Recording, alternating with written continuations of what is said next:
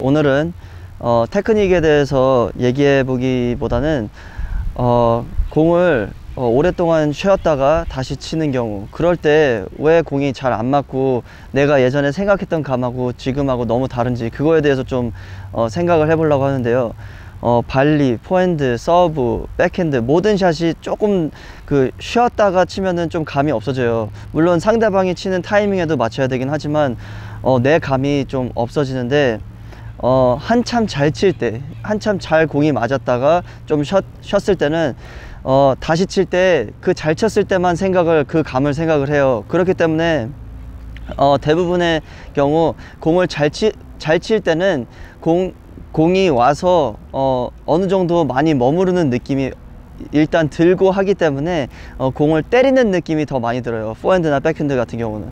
하지만 어, 시간을 조금 쉬고 나서는 쉬고 나서 다시 공을 치게 되면은 어느 정도는 어, 공을 때리려고 하면은 공이 안 넘어가거나 컨트롤이 안 되는데 그거는 누구나 다 마찬가지예요. 그거는 그 동호인 분들만 뿐만 아니라 어, 주니어들도 그렇고 프로 선수들도 어느 정도 어느 정도 쉬었다가 다시 돌아올 때 그 감을 익힐 때는 어느 정도 밀면서 쳐요. 밀면서 치는 감으로 치지 때리거나 감으면서 치지 않거든요.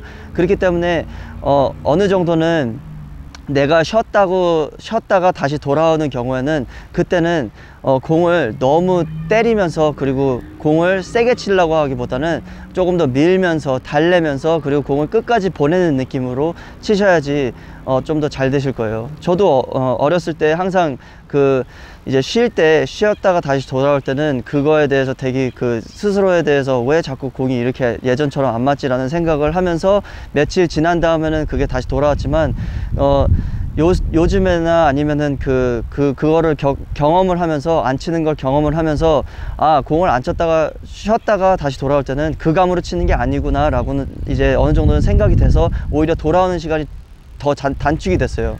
어, 밀면서 때리는 감 아니면은 아예 처음서부터는 천천히 하면서 어, 미는 느낌으로 해야지 그래야지 공이 좀 더 어, 감이 빨리 살아나고 공이 와서 좀 더 두껍게 맞고 하는 그거를 좀 더 느끼셨으면 하는 바람입니다.